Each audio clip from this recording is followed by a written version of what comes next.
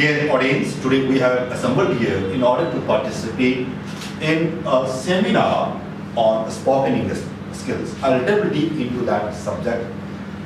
I'll interact with you, uh, I'll praise you. At the same time, you'll be at the liberty to ask me any questions, queries pertaining to the subject today. Right? I'll try my best to answer your queries and to enable you to understand the thing which you have come for. Now let's begin today seminar. First of all, I would like to put a question. What do you mean by seminar? Dristy, what do you mean by seminar? Seminar uh, to me means that a group of people have gathered together where uh, one the spokesperson and other people will listen to him and then put up their queries later on regarding this. Okay, that's very good understanding you have. A seminar is a scholarly discussion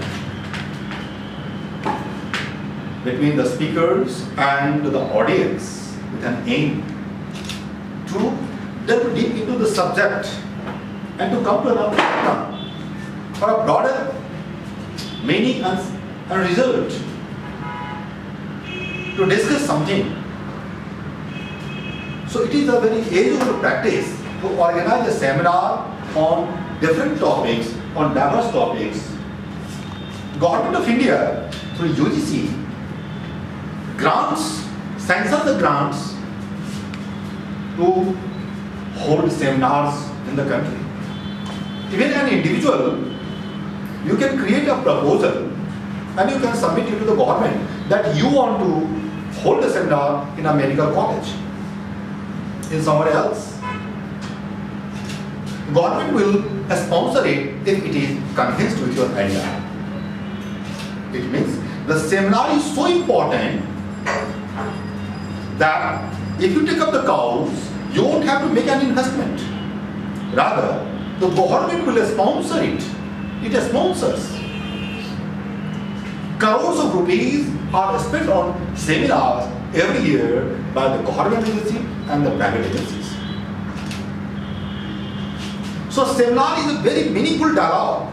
It's a very meaningful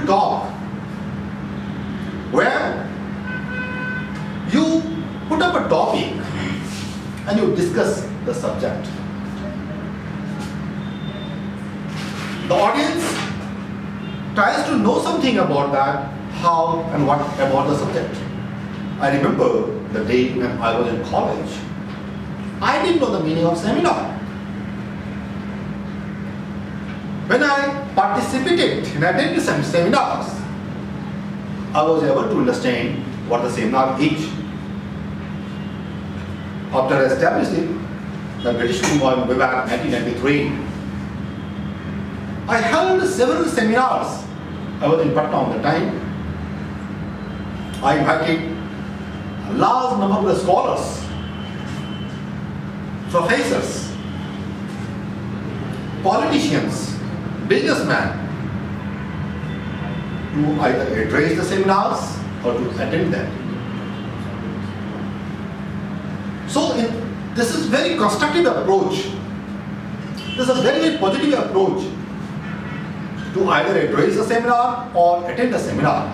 Even today, after this seminar, you find that your knowledge has enhanced. So I think the meaning of the seminar is quite clear.